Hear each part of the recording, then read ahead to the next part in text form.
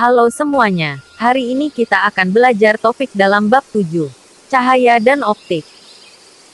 Subtopik kita pada hari ini ialah kanta cembung dan kanta cekung. Cikgu harap semasa kamu mempelajari bab ini, kamu mempunyai pengetahuan serba sedikit tentang kanta. Topik kanta telah kamu pelajari semasa di tingkatan 1.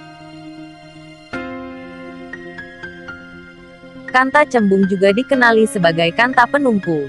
Kanta ini akan menumpukan sinar-sinar cahaya yang dilaluinya. Terdapat tiga bentuk dalam kanta cembung yaitu 1. Dui cembung 2. Plano cembung 3. Meniskus cembung Pastikan kamu ingat ejaannya dengan betul ya. Senang Jer, ingat kanta cembung ingat perut ibu mengandung. Kan sama bentuknya, hahaha. Sinar cahaya melalui kanta cembung. Apabila sinar-sinar cahaya selari melalui kanta cembung, cahaya akan dibiaskan dan menumpuk kepada titik fokus F.